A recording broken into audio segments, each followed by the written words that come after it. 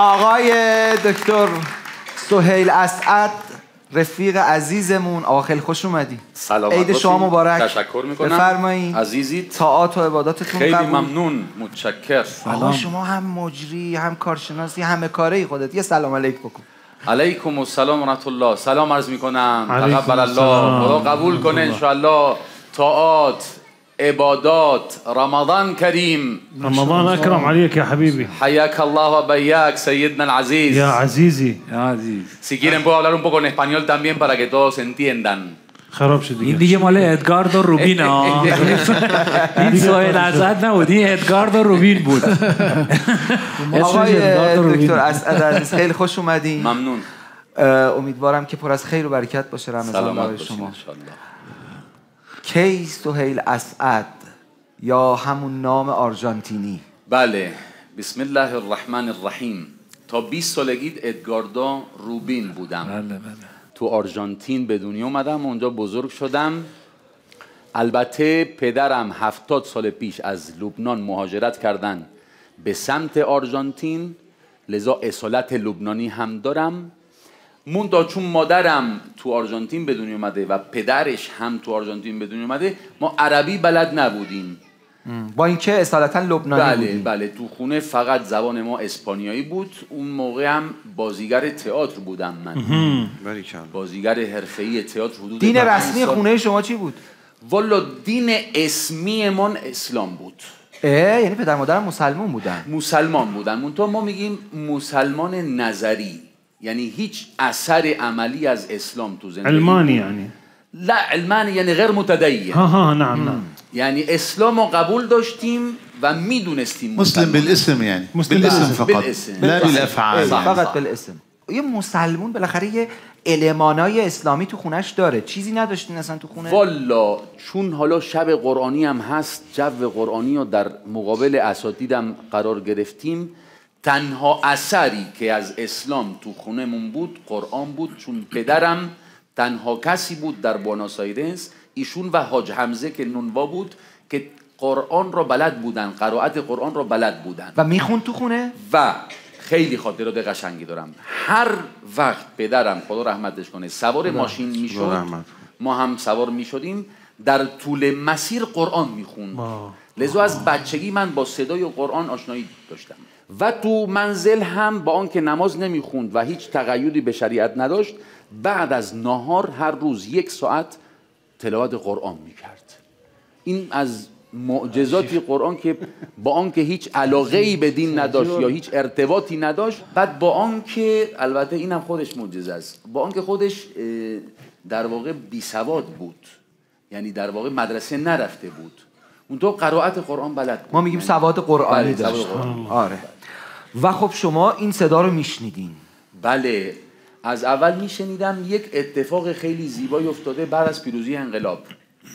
قاریان قرآن امثال استاد حنیفی استاد اوهدی استاد فاطمی مشهد استاد ناصر رضوی اصفهان ماه رمضان می اومدن آرژانتین. و من برای اولین بار حضورا با اینا آشنا شدم و تلاوت قرآنشون اه، گوش می‌کردم منقلب شده بودم اونجا. و یکیشون یک کاسیت کاست بود اون موقع نوار. مال عبدالباسط قصار سور اه، هدیه داده. بود.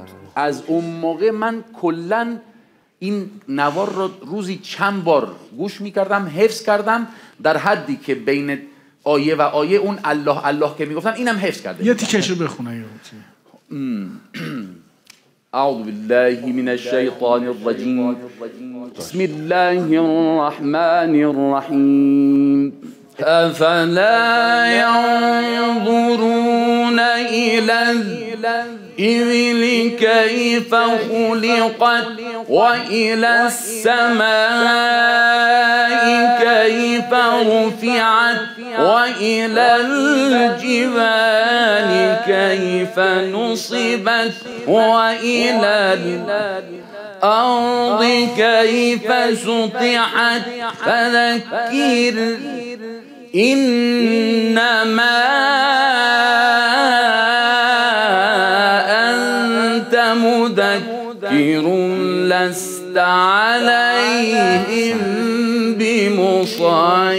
فایطیر آقا از سن ده سالگی دیگه من نخوندم عذرخواهی می‌کنم. آقای دکتر اسعد با قرآن جلو اومدین و بعد از 20 سال رفتین لبنان. بله. کی دوباره گره رو متصل کرد؟ خب. که شما از اون مسلمون اسمی در بیاین. الان شدین یه مبلغ تمام ایار بله. لبنان قصه ای داده. من در سن 20 سالگی که بازیگر تئاتر بودم تو آرژانتین فضای تئاتر پولی نیست. یعنی از لحاظ مالی و اقتصادی ما هنرمندان مشکل داشتیم. لذا هم پدر هم جامعه هم خانواده به من گفته بودن که شما به عنوان بازیگر نمی‌تونید دیگه زندگی تو تامین بکنید. باید کاری بکنید که تو اقتصاد هم بالاخره ورود پیدا بکنید. اونجا شد که من چون با تلفظ قرآن از اول آشنایی داشتم خیلی علاقه خاصی به زبان عربی داشتم. با اینکه هیچی نمیفهمیدم. اون تو علاقه داشتم. رفتم تو رشته مترجمی در دانشگاه بونوس آیرس شرکت کردم. استاد ما که ایشون از مهاجرین سوریه بود گفت شما استعداد خوبی داری برای زبونا.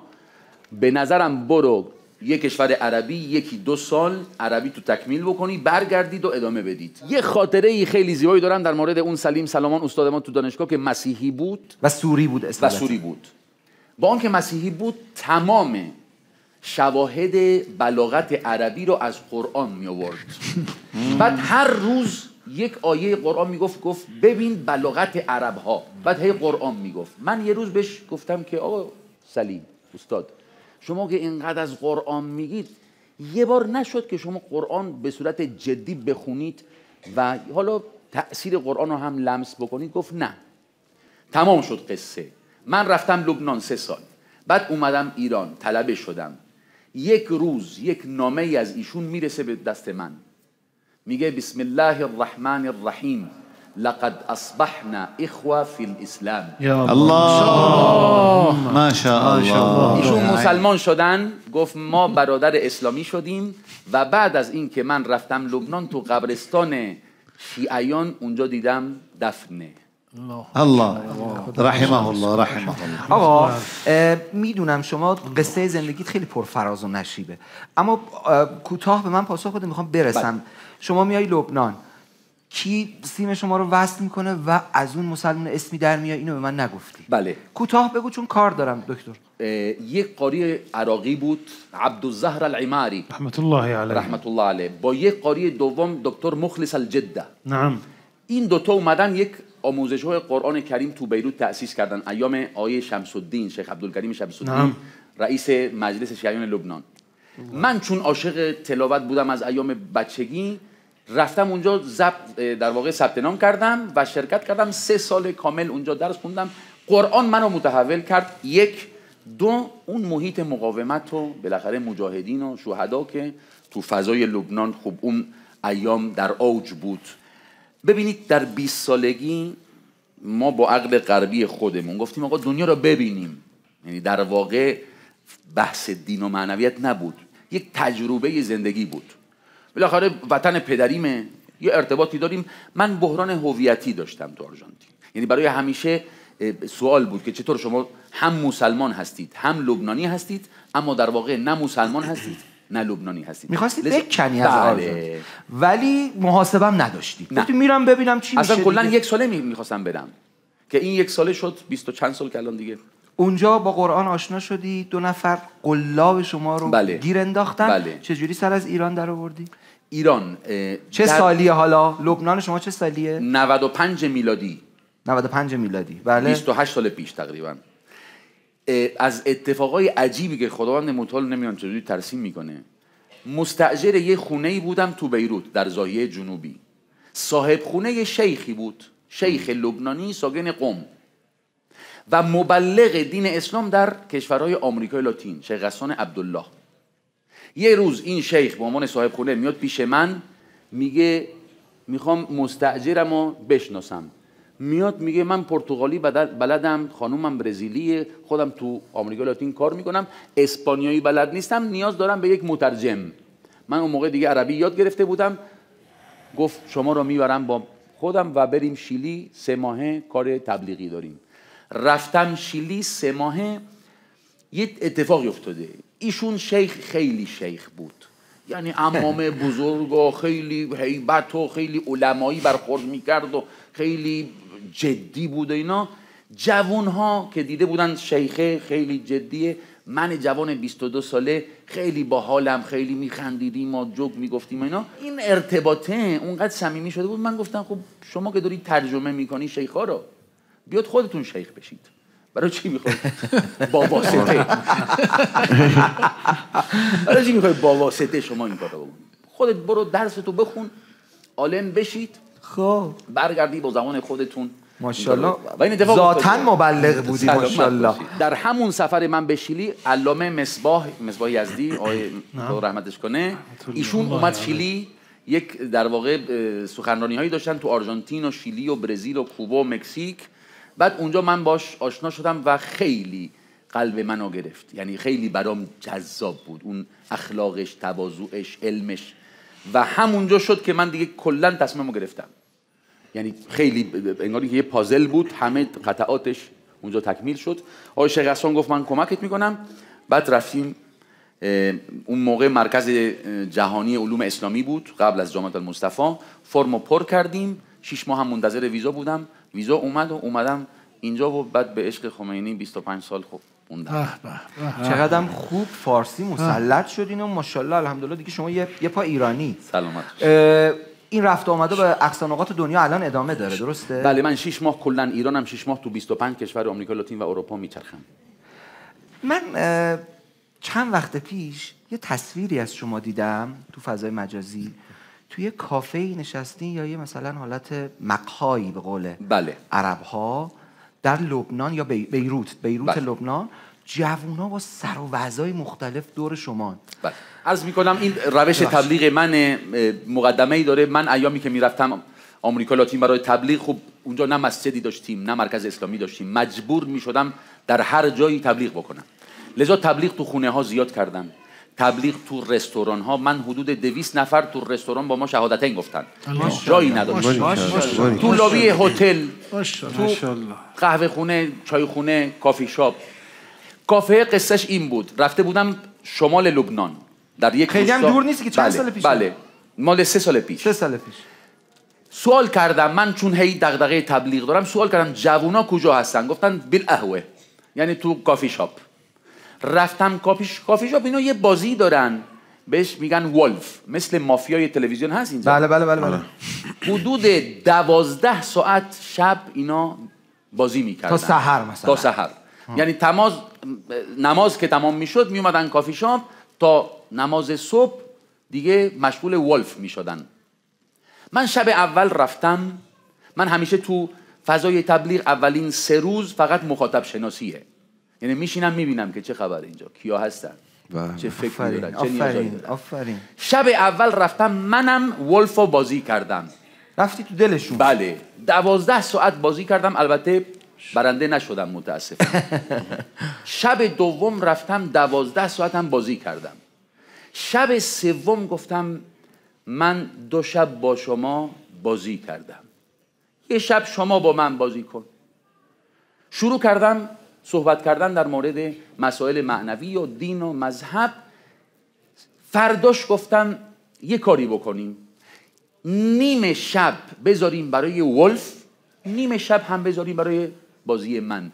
قبول کردم شب اول دوم اونقدر عاشق شدن گفتن آقا ولفو بی خیال.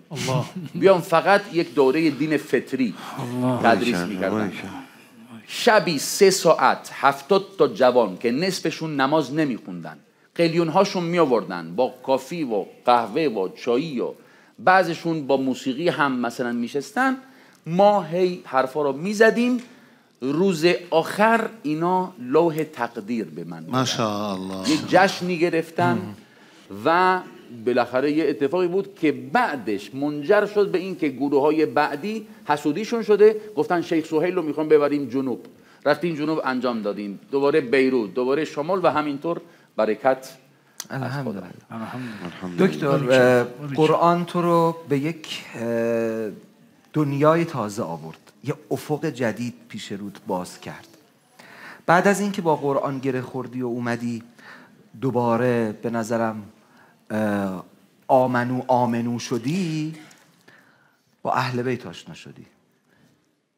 تو کجا گره خوردی به اهل بیت؟ هرز کنم ببخشید.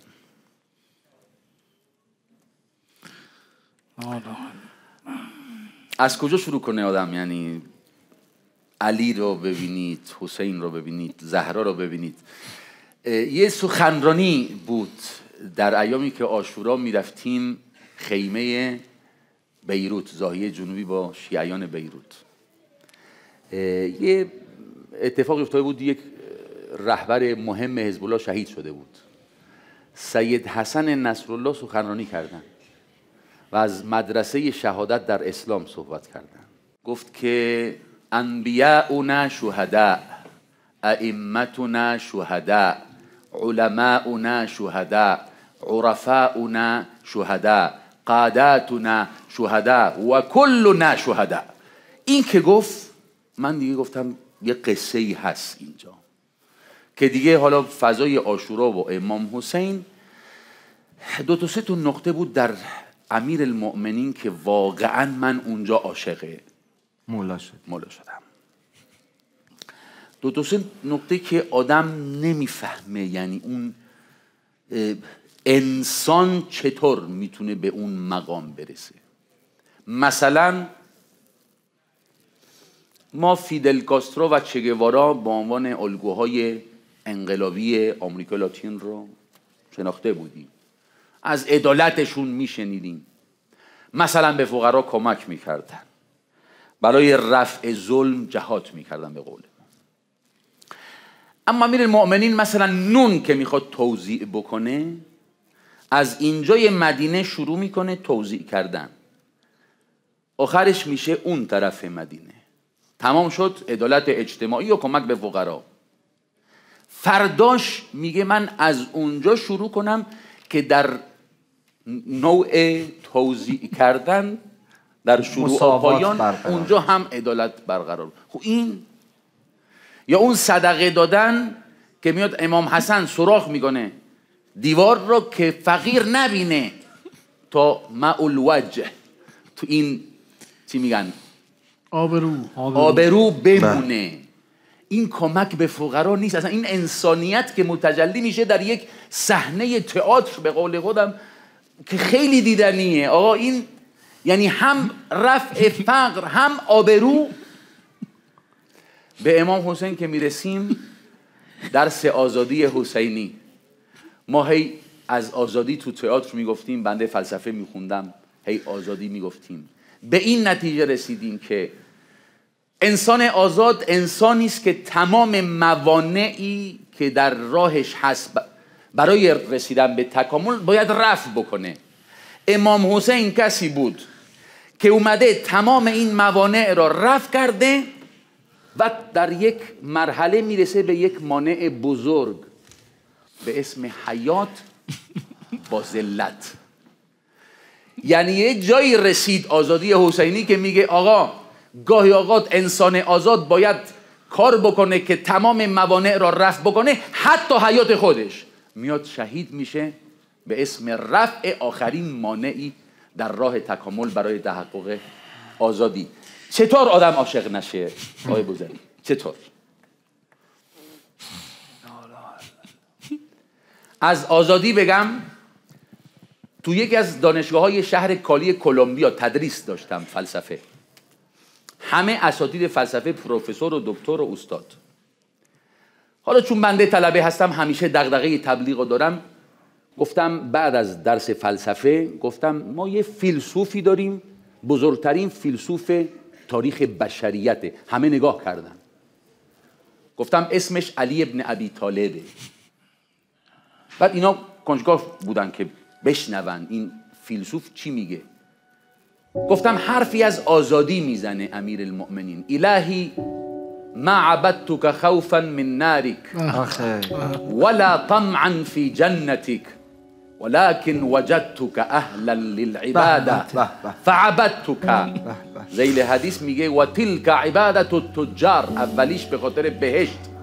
این مثل تاجر میمونه. یه سودی به من بدید که من عبادتت کنم. دوم و تلک عبادت العبید. مثل بردگان که از روی ترس.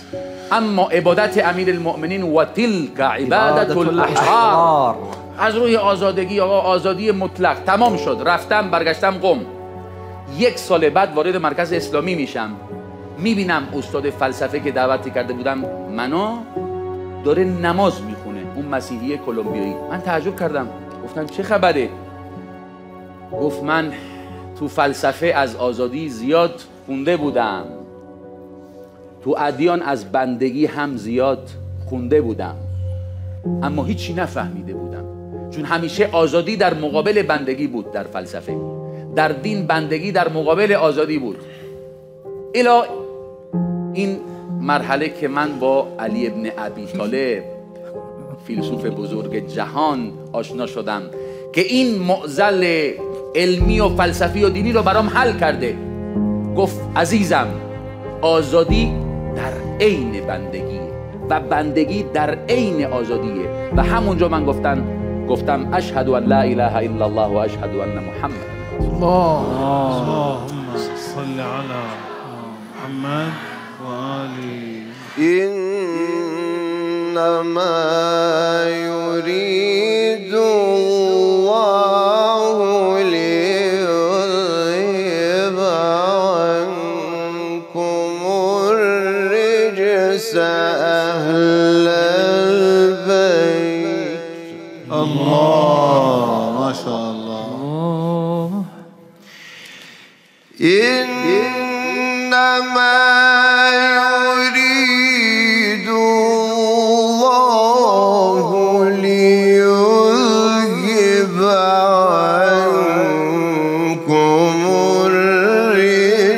الرجس أهل البيت.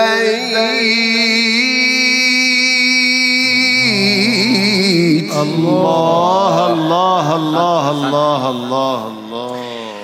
إنما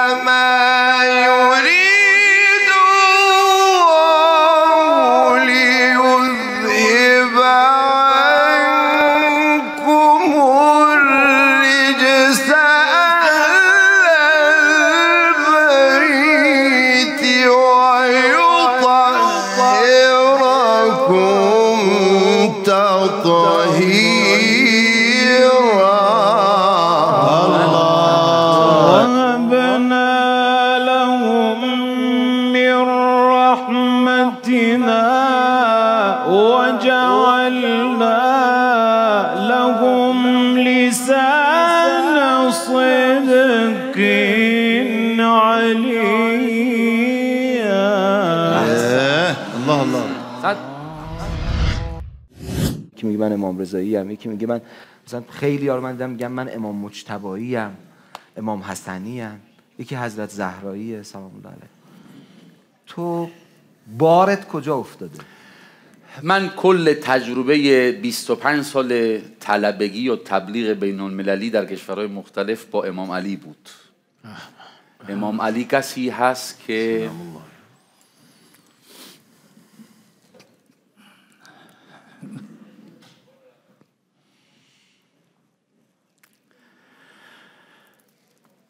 تو یکی از این سفرها من مشکل امنیتی پیدا کردم. بله. مشکل امنیتی پیدا کردم. اطلاعات دنبال من میگشتن و حالا تهمت های عجیب و غریب که تروریست و سپاه و بسیجی و اطلاعات و حزب الله و مقاومت حالا خواستن اذیت کنن یه کمی ترسیدم. بالاخره شما غریبه هستید تو حالا یه کشوری نمیگم. چهار پنج تا ماشین دنبالت میگردن و فیلم برداری می‌کنن و بعد دیگه یه جوری خودشون نشون میدن که تهدید کنن و سخته دیگه. حالا 24 ساعت زندگی کردم با این وضعیت سخت بود. یه هفته خیلی اذیت بودم. حتی گریه می‌کردم گاهی اوقات. تا اینکه یک روز با خودم نشستم. گفتم سهیل انت شیعت علی. ای یعنی چی؟ راه بدی به ترس. آفرین. می‌رفتم عجلکم الله بلا تشبیه دستشویی آینه ای بود. خودم رو نگاه می‌کردن گفتن انا شیعت علی! تمام شد. ترس رفت. ای جانم. خوف رفت. تا الان این نسخه ای است که من تو دوره های آموزشی تبلیغ بین المللی اسلام به دوستانم بگم به شاگردانم میگم. حتی یکیشون به من گفت من مشکل پیدا کردم و حالا از اون مسائل امنیتی. با من تماس گرفتم. گفتم آقا نسخه علی ابن ابی طالب انت شیعت علی. تمام شد. گفت آقا از روزی که من این رو هی تلقین می‌کنم بگه تمام شد. چی بگه آدم؟ امیر المؤمنین کسی بود که من در کوبا بین کمونیستای ملحد و بیدین گفتم امیر المؤمنین ما انسانیت رو اینجوری تعریف می‌کنه. میگه یه سری مخلوقاتی وجود دارن که فقط عقلن روحن. بهش میگن ملائکه. یه سری مخلوقاتی دارن که بهش میگن حیوان. فقط بدن و جسم و ماده و شهوت روح و عقل ندارن. و یک مخلوقی هست که یک بعدش مادیه یک بعدش معنویه. یک خلیط بین عقل و ماده بین روح و جسم به اسم انسان. که اگه اون بعد مادی غلبه پیدا بکنه بر بعد معنوی این از حیوان بدتر میشه. اگه برعکس باشه که بعد معنوی بر بعد مادی غلبه پیدا- بکنه این از ملائکه بالاتر میشه. اینو گفتم. سه روز بعد یک ژنرال ارتش فیدل کاسترو اومد پیش من. گفت من همیشه این حس داشتم که من عنوانم و اسمم انسانه. اما مثل حیوان زندگی می‌کنم. و هی تو فکر بودم هفتاد شست سال. تا اینکه با مکتب امیر المؤمنین آشنا شدم متوجه شدم که این تعریف دقیق تری در واقع تعریف انسان. هم حیوان هم ملکه و می‌تونه از ملائکه بالاتر بره یا از حیوانات منحدتر بشه. هستن مسلمان شد. پسرش مسلمان شد. خانم پسرش مسلمان شد. نوش مسلمان شد. ماشاءالله. پسرش طلبه میشه میاد قم بر میگرده یه خانومی به اسم حالا بعدم میگم اسمش حالا اسم اسپانیایی که یادم نیست. خانومش در اون خانومه همسایه این آقا بود این طلبه. این از فاطمه معصومه بهش میگه و کرامات و معجزات و کتابی در مورد سیره فاطمه معصومه بهش میده. این عاشق فاطمه معصومه میشه خانوم هفتاد ساله. میگه من می‌خوام مسلمان بشم و از پیروان فاطمه معصومه. اسمشو می‌ذاره فاطمه معصومه. بعد یک خونه ای داشت دو تا اتاق. گفت آقا کل خونم دو تا اتاق. این اتاق مال این فاطمه معصومه است این اتاق دوم مال اون فاطمه معصومه. وقف میشه. میشه اون اولین مرکز اسلامی ما در هاوانا که توسط اون اتاق هفتاد نفر شیعه میشن که بعضیشون الان سوهل جان رسیدی رسیدی رسیدی. الان مبلغ بین المللی هستی. این طرف میری اون طرف میری. میشناسنت. رسانه داری حرف می‌زنی.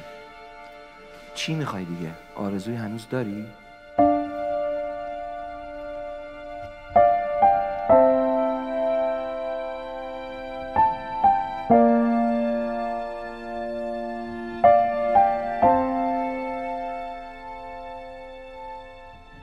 آرزو کوچولو دارم که خیلی هم سخته اما دوست دارم از ته دل می‌خوام بگی یعنی صادقانه صادقانه.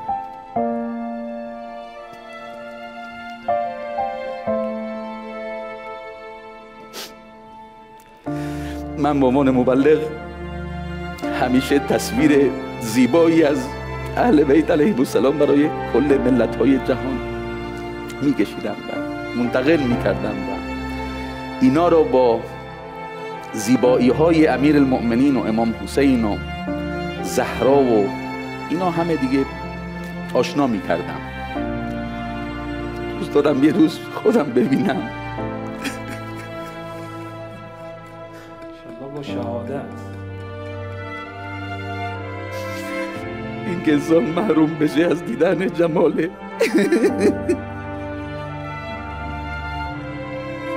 امثال امیر المؤمنین امثال امام حسین